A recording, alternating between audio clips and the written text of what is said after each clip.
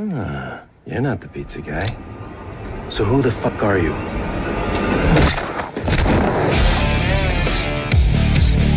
You would not believe how outdated our hospitals are.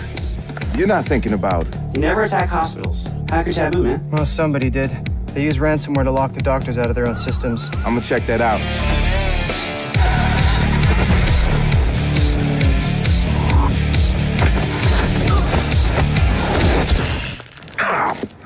Who guy in the ass? I got zero reason to trust you, man. You crazy as hell.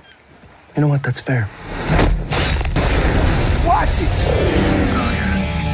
What if I told you there was a bunch of homeless people prowling the streets, their bodies infused with experimental nanotech?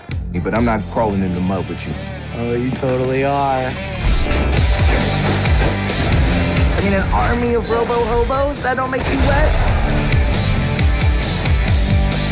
What do you think of a car that knows who you are? The car's onboard computer has direct access to Blume's databases. Maybe, uh, Some daring vigilantes should check it out. Perhaps steal a cool car already?